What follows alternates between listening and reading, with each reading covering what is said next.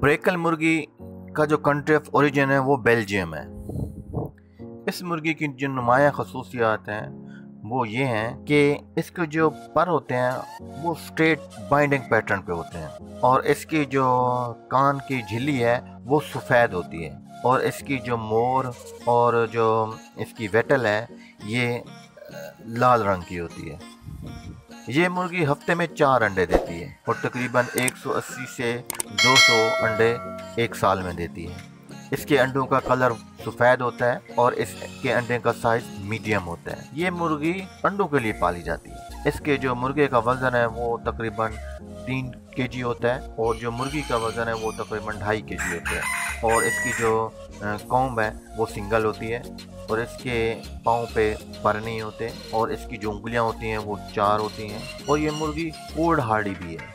यानी आप इसको मौसम सर्दी में भी पाल सकते हैं। जहाँ पे सर्दियाँ पड़ती हैं बर्फबारी पड़ती है, वहाँ पे भी ये पाली जा सकती है। और ये मुर्गी हीट टॉलरेंस भी है। वहाँ पे भी आप इसको पाल सकते हैं। तो ये मुर्गी माहौल के मुताबिक अपने आप को एडजस्ट कर लेती है। और इसका जो टेम्परामेंट है, वो बहुत चुस्त है एक्टिव है ये। और ये मुर्गी इतनी ज़्यादा ब्रूडी नहीं है। ये कभी कभार कब ब्रूडी हो जाती है। यानी आप इससे बच्चे निकलवा भी सकते हैं और नहीं भी। जब ये ब्रूडी हो जाएगी तो आप इसको बच्चे निकलवा लेंगे अदरवाइज़ नहीं। और बच्चों को निकलवाने के लिए आपको किसी दूसरी मुर्गी ब्रूडी के नीचे अंडे रखने पड़ेंगे या फिर आपको इंक्यूबेटर मशीन लेके आनी पड़ेगी जिससे आप बच्चे निकलवा सकें। दोस्तों, इस वीडियो में हमने आपको ब्रेकल मुर्गी के बारे में बताया। उम्मीद है ये वीडियो आपको पसंद आई होगी। जो दोस्त नए और अभी तक चैनल को सब्सक्राइब नहीं किया प्लीज़ सब्सक्राइब कर लें और बेल आइकॉन को प्रेस करें ताकि हर नई आने वाली वीडियो की नोटिफिकेशन आप तक पहुँच सके। शुक्रिया।